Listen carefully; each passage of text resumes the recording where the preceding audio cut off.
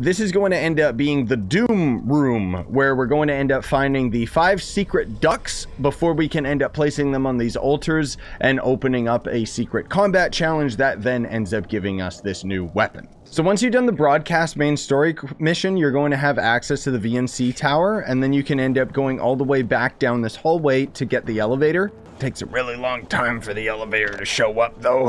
Once you do finally end up getting all the way up to the top, uh, you're going to notice this little ledge right here and a couple windows underneath you. So we can very easily just glide our way in here. There's going to be a you know, inhibitor chip and everything, but there's also going to end up being this safe. Now, there is a note that you can end up finding in this location. I don't remember what the note says specifically, but the point is that the password is going to end up being 666. You'll open this, and then I've already got this duck, but this would end up being our first black duck. The next one, as we can actually just see it from up top, is right over here. So this is going to end up being between the borders of these two areas with the lower dam and the lost nomads, which is, uh, my marker was a little bit off, but it's roughly right here. You can see it from the bridge and everything like that. So the third duck is going to be at the Mount Lucid Observatory, which is just over here. The main story did end up taking you to this area at some point, but there's the VNC tower just for reference. It's actually to the left of it. And what you're going to want to do is climb up these rocks, or if you can finesse your way up, you can gr uh, grappling hook some of the walls. But generally speaking, I just do this because it's a lot easier.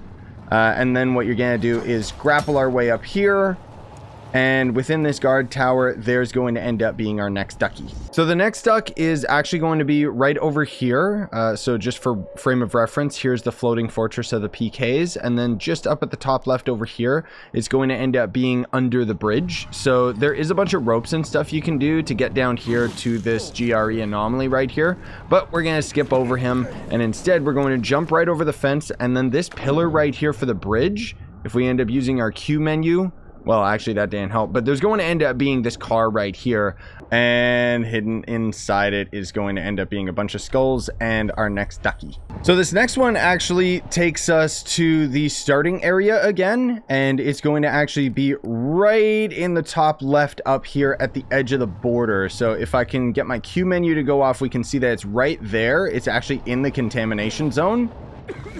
So you can just barely make it here and then that's going to end up being our last duck. So now we're actually back at the VNC tower and you may or may not have noticed that you can actually select multiple floors for the elevator. I always just go to the top, but what we're going to be doing now that we have all the ducks is go into the basement and there's going to end up being a couple puzzles and a combat challenge. So this should end up being pretty cool because I haven't really experienced this myself.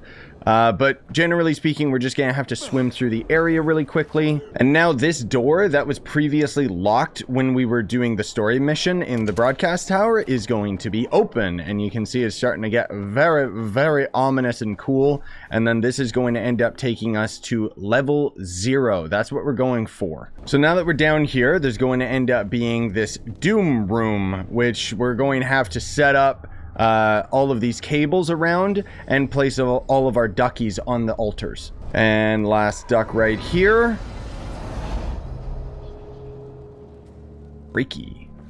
So now what we have to do is we got to do a very weird little cable puzzle. And uh, basically we need to make a pentagram. The easiest way to do this is from the cable that we're looking at, we turn around directly and then we're going to end up placing the cable into that slot. So grab the next cable, turn around, and then it's going to end up basically being the slot that's right behind you. And last one here. Hopefully I didn't mess this up. Sweet. We did it. Okay, so, and then what this is going to do is it's going to end up giving us this, uh, the boomstick, the doom gun. All right, so the challenge itself actually has quite a few things inside it. I've played through it a few times just so I could figure it all out and present a instructive video for you guys rather than just me fumbling around in there. But one thing that I did notice is because the game is so glitchy, uh, I ended up actually having to remove the boomstick that I had in my inventory from my uh, just active accessory slots because otherwise when I ended up going into the mini game, I couldn't shoot the gun which was kind of weird. Um, there's going to end up being two blueprints, and the combat challenge itself requires five individual keys. And it's a really, really cool homage because we've basically got the uh, level E1M1 from uh, the old school Doom game. And I really, really like that the secret doorway in order to access the last area, it's like nobody would know about it unless they played the old school Doom, which I played the hell out of that game. So there's our first volatile. Gotta be very careful there. Um, I'm trying to be cautious, but if we go to the left over here, you'll see that there's a boom guy, and then right here would end up being a blueprint for a weapon. See, that's the thing. The volatile, like, there's just so many of these mobs that they can just slowly tank your health down. So that would normally be the exit of the original Doom level. Uh, but right here, there's going to be a secret wall that you're going to be mashing the F button on, or the active key, in order to end up opening and getting over into this area, which this area has the final key. And I'm pretty sure it just ended the challenge instead of giving me the final blueprint.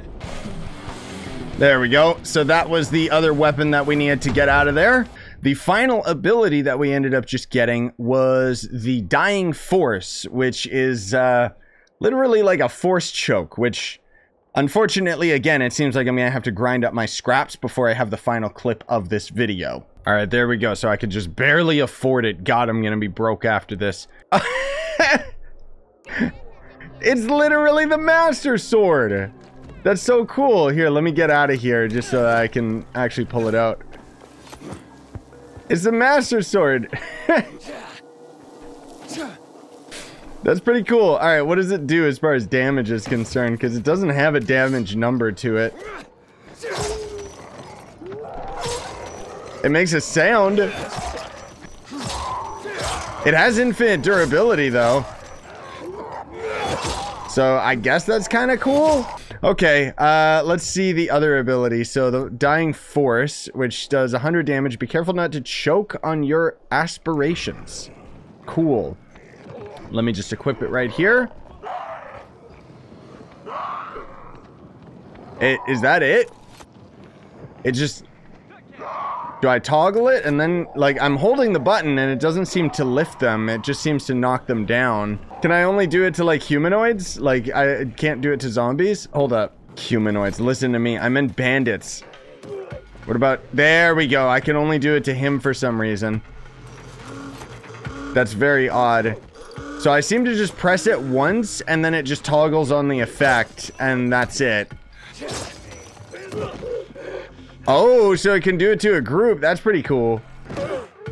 Not worth the scrap to craft it is the only problem, and I won't be able to... Yeah, I can't repair it or anything, so it's just a gimmick.